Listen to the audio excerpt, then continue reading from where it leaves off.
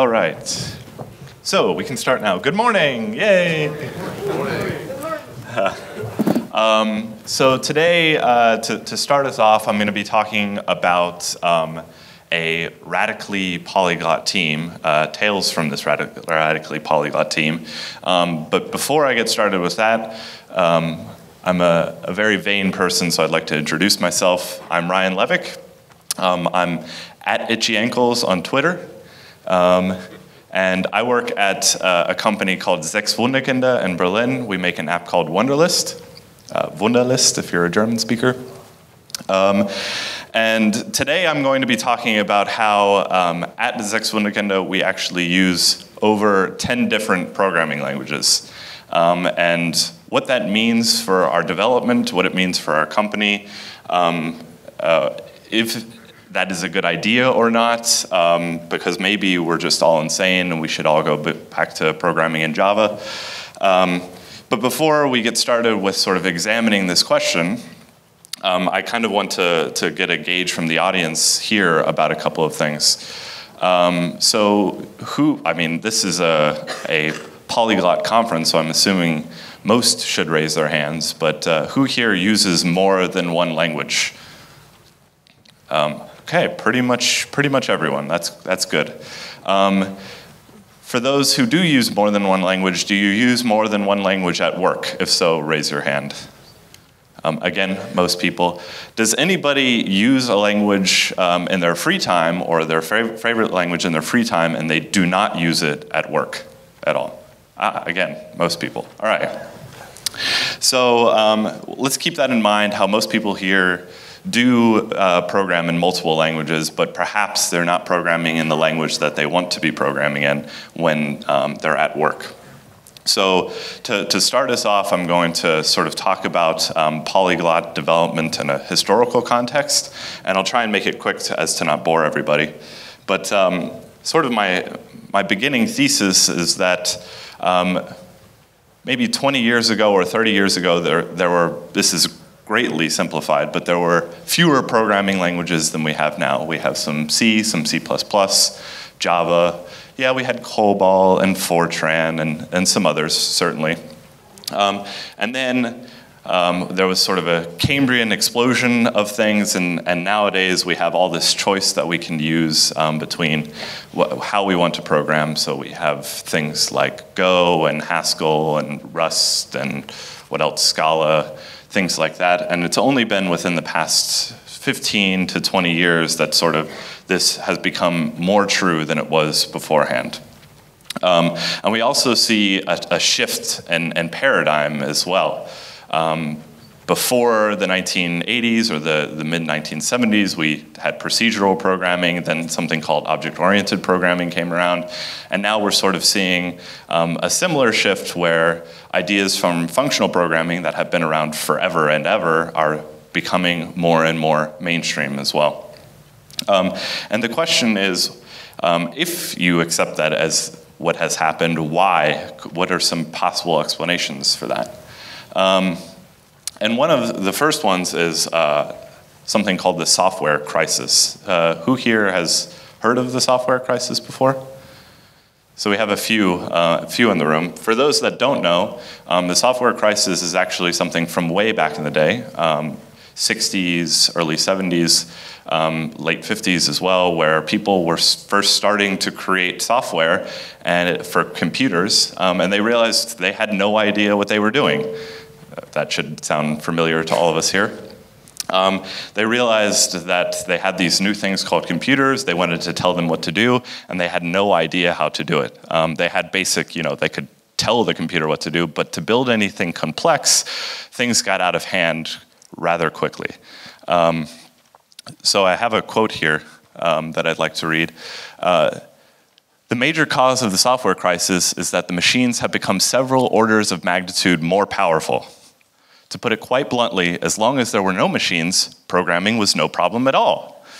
It's true. When we had a few weak computers, programming became a mild problem. And now we have gigantic computers. Programming has become an equally gigantic problem. This is from Dijkstra. I believe this is from 1967. So um, whatever he is talking about here is probably way, way, way more true nowadays than it was back then. Because uh, in 1967, I guess the most powerful computer in the world was orders of magnitude less powerful than the phone you have in your pocket. So um, yeah, we are still dealing with these problems today. Um, so for, for, the, for the longest time, um, and arguably still today, when we, when we go and try and solve some problems in programming, what we've done is just go to our toolbox, reach in, uh, and look for a hammer. And hammer the thing we want to hammer. It doesn't quite work the way we do, so we go, oh, of course, shouldn't have used this hammer. I'm going to go ahead and use this hammer instead. And we've hammered at the thing, and then we've placed our tool back in the toolbox, looked at our problem again, said, ah, this didn't quite work. And we've constantly gone in and reached in uh, for another hammer every single time, instead of perhaps reaching for a screwdriver to screw in the screw that we wanted to.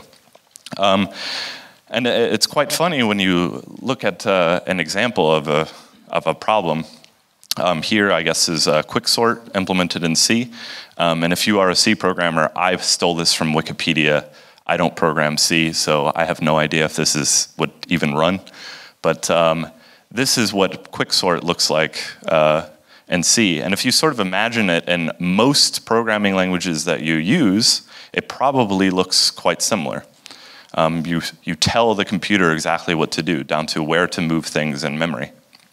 Um, if we look at that perhaps in, in Haskell, on the other hand, um, it looks quite different. Um, and if you don't understand Haskell, don't worry about it. But basically, hopefully you can gather from this, you don't actually tell the computer exactly what to do, you rather describe the algorithm to the computer and the computer does it for you. Um, so it's a much more declarative style. But even this is sort of, you know, words in a text file that are being interpreted and run somewhere. It's maybe not fundamentally different. Um, but at least it's sort of a, a, movement in the right direction to trying to change how we handle software. And this is just a, a small micro example of that. Um, so the next thing about uh, why we maybe have moved towards having more and more programming languages is the internet. Um, the internet has made certain things about using, creating, building new programming languages much easier. We have things like GitHub now and open source, um, whereas 30 years ago, if you wanted to work on a programming language, you either did it by yourself with your friends or you worked for a major company somewhere um, doing it. Things like uh, Rust, which is sort of being built by officially supported by Mozilla, but being built by a community, uh, basically by committee, would sort of be impossible to do. Um, the oversight that the Rust uh, uh, contributors have from the community as large is sort of something that's unheard of. Same with languages like Elixir, which have also been built sort of by the community that will end up using it as opposed to a select few. Um, it's also a lot easier to learn programming languages today. Um, the other day, I was I read a tweet by Gary Bernhardt that said he learned his first programming language with no book at all, not even a syntax guide. So he sort of entered things in the computer. They probably didn't run, and he had to figure out why on his own without any help whatsoever. Um, I learned uh, programming in the age of the internet, um, where that was not the case. Um, I had things, free online resources, things like Why's Poignant Guide to Ruby, um, or you know, Learn Haskell for Great Good, which are both available free online and are great resources for learning um, programming languages. There's also, of course, forums and Stack Overflow. Um, things are more and more easy uh, to learn nowadays than they were uh, back in the day. And lastly, um, we have new problems that we sort of want to face with these, these new programming languages. Um, the Dijkstra quote before hopefully is illustrative of things haven't changed in terms of complexity, but they have changed in sort of what we want to accomplish with it. You know, we have a whole distributed system called the internet out there that didn't exist 25, 30 years ago. Uh, the World Wide Web didn't exist then. And um, we now have problems that we need to solve for this new thing that didn't exist when some of our programming languages that we use still today were first invented. Um, but we have, uh, does anybody know who this is? This is Gordon Moore here, Moore's Law. Does, is everybody familiar with Moore's Law? If you are familiar, raise your hand. Yeah, so hopefully you also know that Moore's Law pretty much doesn't exist anymore. Um, the free lunch is over, so to say. So we can't just keep building the same things and waiting for it to get faster next year because it just won't. Um, we have we have to start taking advantage of multiple cores on the same machine, or even taking advantage of multiple machines within a network. And if you try and do this in something like C, um, has anybody done like uh, a lot of um, uh, parallel or uh, concurrent programming in, in, C or C++? Anybody here? Um, was it was it fun or easy? So um, I'm looking and seeing a lot of shaking heads. I've never done it myself, um, but I've done it in even much more high level languages like Ruby, and it's not fun at all. Um, we have things like, uh, we have uh, primitives like threads and things that just are not easy to work with um, when you have to do things in a massively parallel way. Um, and there are other languages that sort of attack this um, head on, uh, things like Erlang, for instance. Um, and uh, that sort of leads into the fact that we have a much more complex world that we have to tackle as well.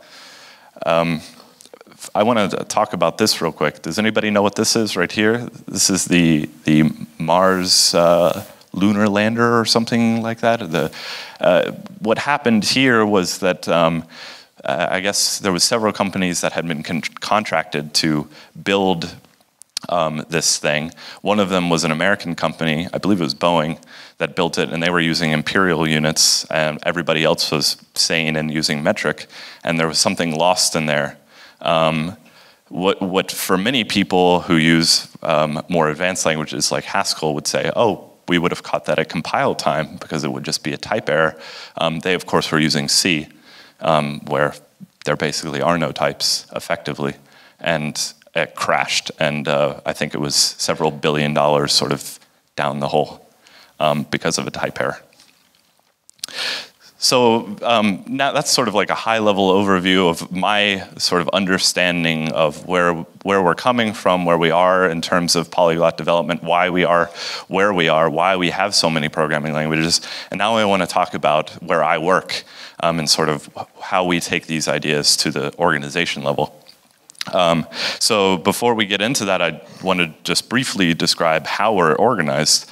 Um, this isn't exactly true. I think I, yeah, there we go. This isn't exactly true, but um, we have sort of client teams that handle the web, iOS, Mac, Windows, so on and so forth, and we have a backend team as well that handles the backend infrastructure. This is the way you can think about it, although in practice that's not really how we work.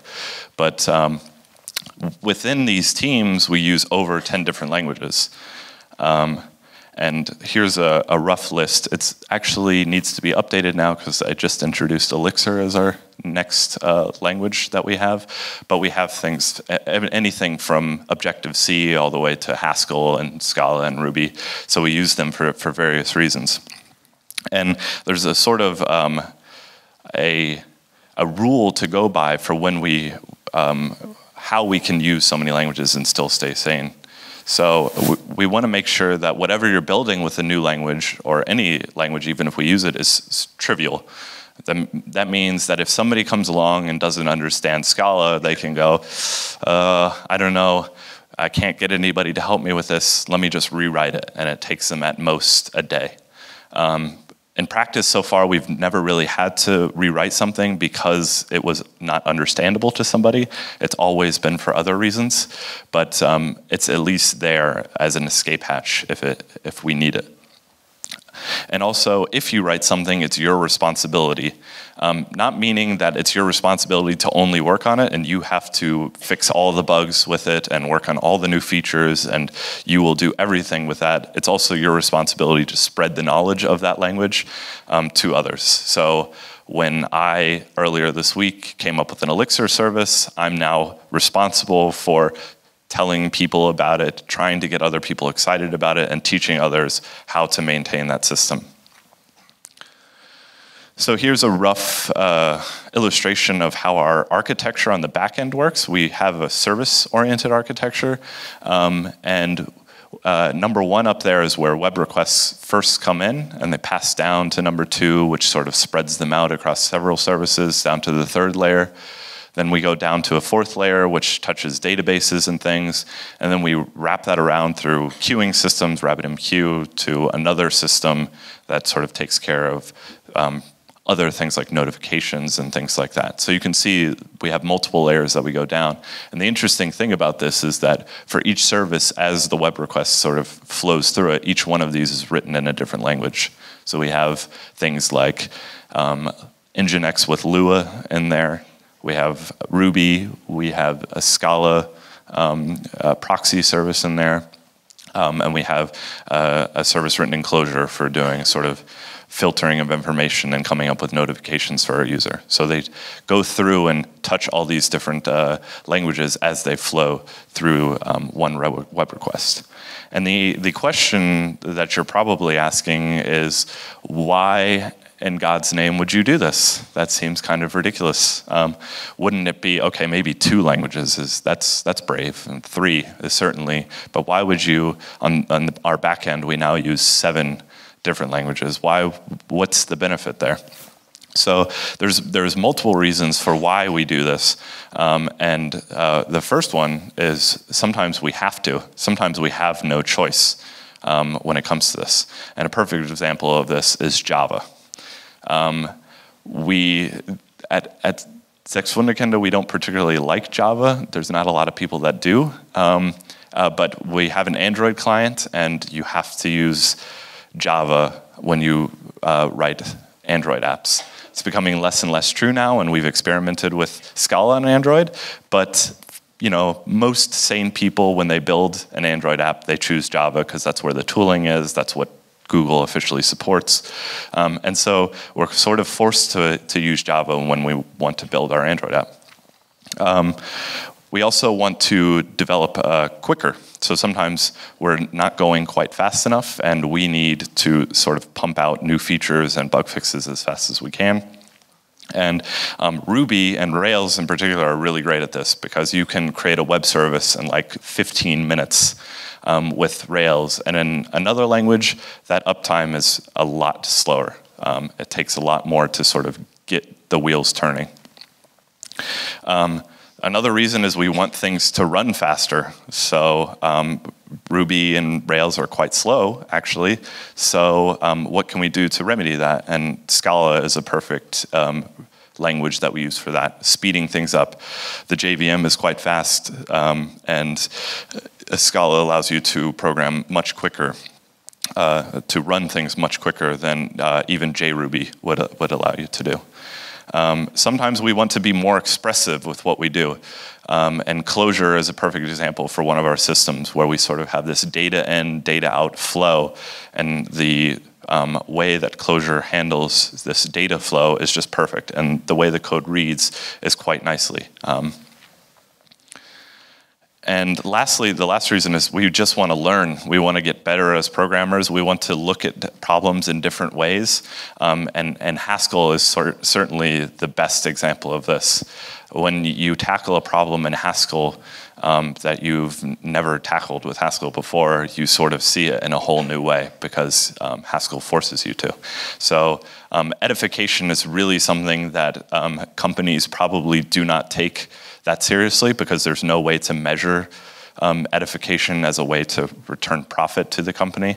But um, believe me, it does. Um, when you have uh, an informed um, and savvy development team that's capable of sort of, you know, going from uh, Java all the way to Haskell, then they certainly are capable of solving um, any problem because they um, aren't afraid to use the tool that they know will get the job done. So now that we understand you know, why we would do this, the, the natural question, of course, is this really a good thing? Um, and first, I want to talk about the challenges because there certainly are challenges to this. This is not a, you know, a cakewalk, and it's not something that I throw to everybody out in the room and say, if you're not doing this, you're doing it wrong. That's certainly not true. But uh, the first challenge is definitely development woes, or deployment woes, excuse me. So when you want to go ahead and deploy this system, you have to have ways of deploying every single different language. Um, and luck luckily, we have an automated process for that. So if you're not using something that helps you automate your deployments, something like Chef or Puppet, or we've rolled our own because we found those systems to be even too complex for us, um, you're just going to, you know, not be happy. And I would, I would argue that it's probably impossible to do without an automated deployment. Um, there's also the problem of context switching. So um, on a given day, I probably use three or four different programming languages, and that does have some cognitive load. When I switch from Ruby over to Clojure, um, there are times that I've just made mistakes because, oh, you know, I'm not used to uh, putting enough parentheses in the end. I'm, I forget what the, you know, what function in this library does.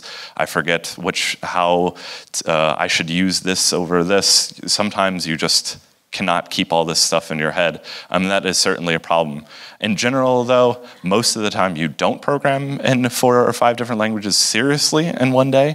You may look at some code um, in several languages, but in one day, you're probably focused on one language because you're working on a certain feature or bug fixes in one sort of system that are written in one language. So in practice, this doesn't really come up that often. Um, there's also a problem of being a jack of all trades but a master of none. And what ends up being true actually is that most of us are jack of all trades and master of one. Instead, we have one specialty, maybe two specialty languages where we're sort of the experts in, and our coworkers are experts in other things. And so when I go to write something in Go, because I really know nothing about Go, um, if I need to do a bug fix or add something to it, I will go ahead and pair program with somebody that does know Go very, very well. Um, and they'll come to me when they need help with Scala, for instance. Um, so hopefully that's uh, addressed some of your concerns. Now let's talk about some of the benefits. And I want to talk about the benefits to end in this talk, the benefits um, at multiple level, levels of uh, that you can look at it. So the first level will be at the industry level, the second level will be at the organizational level, and the third uh, level will be um, at the personal level. So let's talk about uh, the industry level. Um, there's a term called value rigidity. Um, and what value rigidity talks about is sort of um, seeing the value in something and seeing it so often and so much that you're you are rigid in those values and you don't you aren't capable of seeing the the flaws or the cons of that. Um, if you use one particular language, you may sort of see great value in that language, but you come up to a problem, and when it's very easily solved using something else, you're so stuck on that one language that you, you, you aren't even capable of seeing how hard it is or how difficult it is, how hard you're making it on yourself using that one particular tool.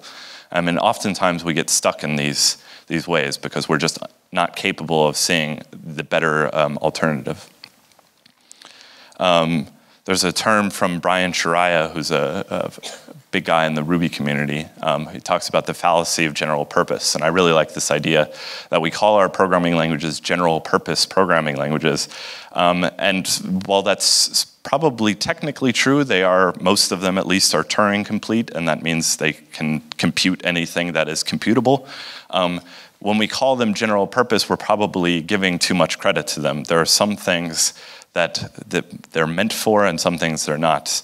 Um, take uh, writing a compiler in Erlang, certainly possible. You could do it. Would you want to? I don't know, maybe. Um, some people have done it. Um, Elixir is actually, is written mainly in Erlang. Um, it works. Is that the best idea? Could there be a better tool for it? Is C a good tool for writing a compiler? I would argue no, actually.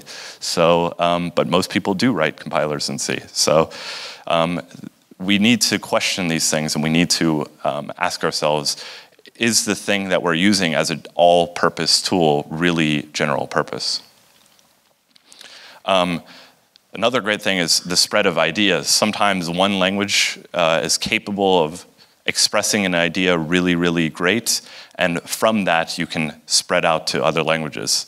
Um, so uh, I, I, keep going back to Erlang and I'll do it again. The, the actor model um, sort of was um, not an invention of the people who came up with Erlang, but certainly um, brought to somewhat popularity through Erlang, and we were able to see the benefits of, of it in Erlang, and from that we get things like Akka and the JVM um, that have basically direct copies of the actor model as inspired by Erlang. Um, and so this is great. We can sort of try out new ideas where they make sense, and then the good ones that we want to sort of spread other ways, we can just mishmash them together. And to go along with that, there's also avoiding groupthink. So if you're always thinking about the pro problems the same way, using the same tools, attacking them the same way, you're probably always going to think the same as, the, as others in your group. Um, and everybody will just go, yeah, that looks about right, when probably it's not right at all, or it could be done way better some other way. Um, so next, uh, we'll talk about uh, the organization level. And the reason I picked this picture, by the way, is it's the worst picture I could possibly find. So um, it's pretty good, I think. Um, so in your organization, generally, um, if you're working sort of at a competitive company, particularly a startup, you want to grab the best people. And the best people really do care about the tools that they use. Most people don't go, yeah, you know, I'm a great programmer, but you know, I'll do anything. Just give me something and yeah, okay, I'll use, sure, I'll use C++, that's fine. No, most people have preferences and you want to be able to track, attract those people. So if you have an organization that says, hey, you come and we want you to solve problems, you choose whatever you think is best to get the job done, that is much more attractive than saying, come work for us, solve our problems, and you have to use COBOL. Sorry. Um, uh, to go along with that, we have the right tool for the job. So if you have a company, you obviously want to pick what will get the job done the quickest, the fastest, the cheapest, uh, and be maintainable in the future as well. Um, and there are certain languages that are better at doing whatever you do in your domain than others, and you should pick the right one for that. Sometimes there's multiple tools that will get the job done. Um, and finally, this will get in and the next step as well. You just have happier employees. And happier employees don't um, quit as often. They are more productive. Um, there's a bunch of literature about you know being happy and how that affects you at the, the workplace. Um, uh, hopefully this is sort of assumed to be true now. Um, if you don't believe me go out there and, and read some. But uh, this is this is really um, I believe, something that's very important for a, a functioning, competitive uh, company, having happy employees. And, and finally, I want to talk about you as the programmer and how it affects you. So, of course, there's your future. Um, there is something to be said about being the legacy programmer going forth and being the person that will maintain C++ systems 50 years from now, hopefully when we've replaced it with something else, please. Um, uh, that might be where you want to fit in your niche, but most likely, if you want to stay competitive and employable in the future, you'll have to learn something new. Um, most people that have been programming for 40 years probably are not still programming in the same language that they've always been programming in, unless they're programming in C.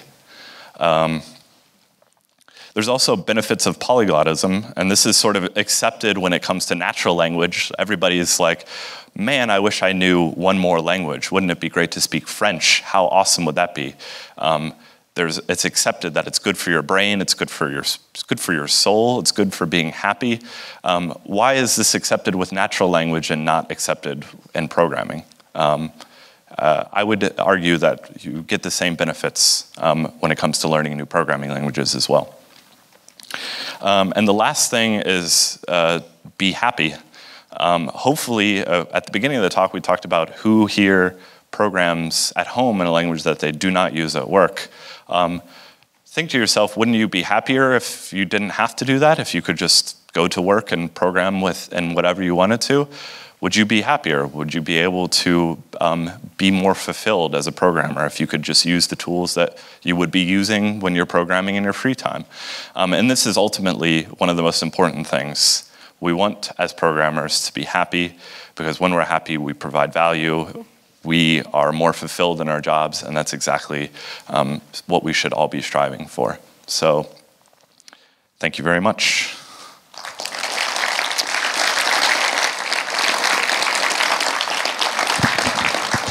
So I'm not sure if I, how much time I have, but um, I think I have some time for questions. Does anyone have questions? Yes? So does everybody on your team program in every one of the languages you showed? So the question was, does everybody on the team program in every single one of the languages that I've shown? And the answer is no. Um, it would be awesome, and I would love this personally because I just like programming in lots of languages to be able to do every single language. But um, I don't know Objective C. I just don't, and I haven't had time to learn it. Um, uh, I also don't really know Go that well, um, and so no, I don't really program in that. Although sometimes I do touch code, and th that's true for everyone. There's just too much going on, um, and our system is big enough, um, and there's enough uh, problems out there that you don't really have to be able to program in everything. And the nice thing is that given that if something, every part of the system is trivial enough, um, if you do encounter something new, you're able to learn pretty quickly. Um, if you need to learn um, Haskell, for instance, to work on our Haskell app, um, of course, learning Haskell is quite difficult, but you're not going to need to learn the parsec library because we don't parse anything. Um, so you sort of can tackle this subset of a language and learn it for the problem that you have to solve at hand. And then if you're interested, you can go on from there. So um, in practice, um, the fact is we don't really have to know everything. Any more questions? I can't see. There, yes. So uh, my question is more about uh, your services uh, architecture. Yeah. The main concern I saw from people when you talk about uh, services architecture is uh, how you deal with services uh, backward compatibility. What I mean is sometimes when you touch one service, actually three or four others that depend on them. You have to make sure everybody's, I mean, basically you can't change or add something to a service without thinking about five or six other services that can depend on it. Um, so the question, yeah. Yeah, the question is um, about dependency management around services, uh, basically. And is there, if you change one service, will you have to change um, five other ones that depend on it? And the, that's a, a valid concern, um, but not really a valid uh, one that's exempt from any part of programming. This is something that we deal with within code bases as well. Uh, and I'd actually say more so um, when we, we had a, a monolithic Rails application, um, and uh, what you find is that it's way easier to cheat with encapsulation when you're in the same code base than it is when you're in a service-oriented architecture. When you have services that talk to each other over may, maybe HTTP or something like that, you're forced to have very, very clear defined interfaces. Um, and everybody that programs in object orientation thinks, yes, okay, clear defined or, uh, interfaces is great, but it's really easy in most languages to sort of cheat around that. Um, in Ruby, especially, you can even like call private methods pretty easily. So um, you can't call private methods from eh, you know using HTTP and calling another service. So the the answer is yes, that is a concern, but it's actually far less of a concern than if you had one code base. So I would argue if that is a concern of yours, then you should go service-oriented architecture because it's probably the best way to solve that that I've encountered. If you if you want to discuss that, that's I would be happy to. Do we have time for any more? Any more questions? Yes? I have one. Um, onboarding new developers Yeah. that you come into the work and then you have to install like five runtimes. Yeah. That type of service. Um, so, yeah, yeah. The question is um, like onboarding new developers. Um, I'm, I'm curious about this because we haven't done a lot of hiring um, over the past uh, couple of years on our on our backend team. Most of the people that we've hired have been client developers, and you sort of, okay, if I'm working on the Mac app, I download Xcode, good to go. Um, we do have a, a, a new woman who just started, and I'm curious to see how she handles this with the sort of we have so many things going on. How does you know does she fold under the pressure? Um, my uh, my gut feeling is that no, because it's not like when you work on a feature, you're going to have to install all of the languages that we have. Um, at most, it might be two. Um, and to be perfectly honest, most of the time package management is good enough um, and we have scripts set up and our, our setups are not complicated. You may have to do, you know, if you're working on a Mac, brew install RabbitMQ, brew install Redis, uh, you have the JVM already on a Mac, uh, you're good to go. Um, brew install Scala or SBT, and, and, you're done. So it's really, we could make it certainly easier for sure, and that is a concern. But um, in practice, it hasn't been a big one yet. So we'll see. Uh, one more, yeah?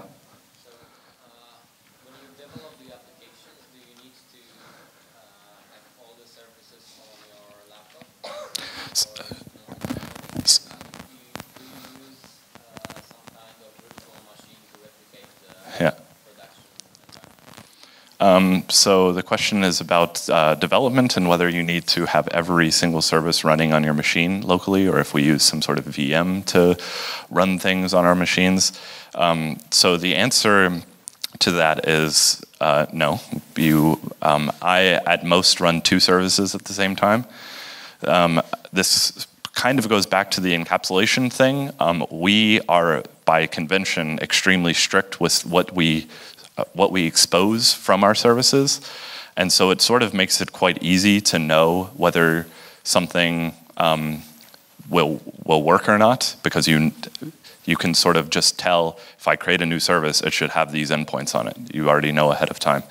Um, and so it's very easy to sort of boot one up, run some, some tests against it, um, and know that, okay, as long as these tests pass, we, by convention, always expect services to implement these things. So while, yes, of course, um, business logic could be wrong in that, um, you sort of test that through high-level integration tests on that one service, and you are almost guaranteed that your communicating services um, will bind to that contract. Um, it is a problem because it makes uh, testing the system as a whole quite difficult. And we actually never really test this, the system as a whole. We sort of, um, the, the, nature of our system allows us to have blips in it, so we can push something out into production, watch the monitoring tools, and revert back within a matter of seconds. So um, luckily in our for our given thing, we're not running like a website that has to be up, an e-commerce website that has to be up all the time. We can have, you know, glitches where something goes a bit wrong. We return maybe more 500s than we should or something like that. Um, and it, no one will really even notice. Um, so um, for us, that's a, that's a lucky thing. And if that's not true of in your domain, then yeah, then that's something you really need to be able to address. Uh, Yes? So I guess one of the consequences of using many languages is that people need to do quite a lot of learning. Yeah. New things. And uh, that's both an opportunity and a challenge. I'm wondering if you just let people pick things up by themselves or if you have a more structured approach. Yeah. Like maybe let's introduce Haskell to these half dozen people. Yeah. So the question was about um, introducing new technologies and learning um, and how that can be a challenge um, and whether we do something more formal than please learn this um, and, and watch them learn on their own? And the answer is yes. Um, at, at, the beginning, we didn't because there was just enough opportunity to just pair with somebody and you would learn that way. Um, now we're sort of, we're starting to do code challenges where, um, for instance, we did um, one with Clojure where we said, please fetch the last 100 tweets about Sechs from Twitter's API. And anybody that's worked with Twitter's API knows it's kind of challenging actually. So um, uh, it was a good challenge and a lot of people who had never written Clojure before wrote some and now they are sort of diving a bit and, and pairing with people on uh, some of our Clojure systems. We're doing one right now on Scala. So yes, we do do code challenges and we highly encourage pair programming um, with new languages. And um, besides that, it's a lot of uh, relying on people to be excited about what they're working on and forcing it down other people's throats, to be honest. Um, when I wrote the Elixir service earlier this week, I was so excited about it. The next day, I showed like eight people, just like, hey, do you want to see something? You want to see something cool? And then like, they're like, no. And I'm like, yeah, come on. And I just like forced them over and showed them. Um, and generally, like through osmosis and through passionate developers, um, most of the time we, uh, we learn quite easily. Um, more questions? Yeah, yes?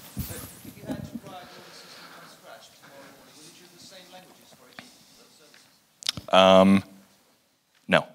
So, but that doesn't mean that we made mistakes. Um, well, we did make mistakes, but in terms of language choice, you, sometimes some languages I choose because I don't know.